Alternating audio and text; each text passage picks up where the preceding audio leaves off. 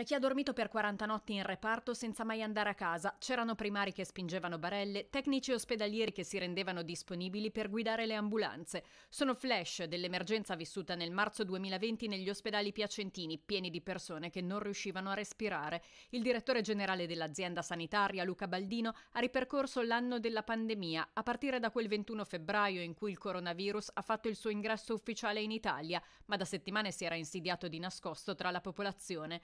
Da allora iniziarono mesi di battaglie, di rivoluzioni negli spazi e nei ruoli. A marzo le giornate iniziavano alle 6 e finivano alle 2 di notte. Sono andato a casa piangendo più volte, ha rivelato Baldino, che nell'emergenza portò personalmente quattro camici all'ospedale di Fiorenzuola, dove erano finite le scorte. E poi quel pomeriggio in cui 130 persone affollavano il pronto soccorso. E adesso cosa facciamo? pensò il direttore generale. Ricordi di un inferno in cui è emersa l'abnegazione del personale ospedaliero e la capacità di trasformare le strutture strutture, un anno in cui 1500 persone sono morte nonostante gli sforzi per salvarle.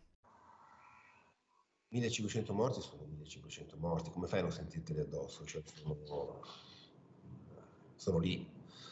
Eh, non, non, non, non, nel senso di, di, che ci sia qualche responsabilità di qualcosa che, che, che, che, doveva essere fatto e non è stato fatto, insomma, quindi tutto quello che poteva essere fatto eh, è stato fatto bene, Uh, certo è che, che, che questa è, è, una tragedia da cui ci metteremo tanto tempo. A un anno di distanza la luce in fondo al tunnel sembra più vicina grazie al vaccino. La campagna prosegue con l'incognita dell'arrivo delle dosi. Per ora è una Ferrari con poca benzina, ha dichiarato Baldino. L'84% degli operatori sanitari è stato vaccinato, ne mancano circa 400. È chiaro che se anche fossero solo uno, per me è uno di troppo.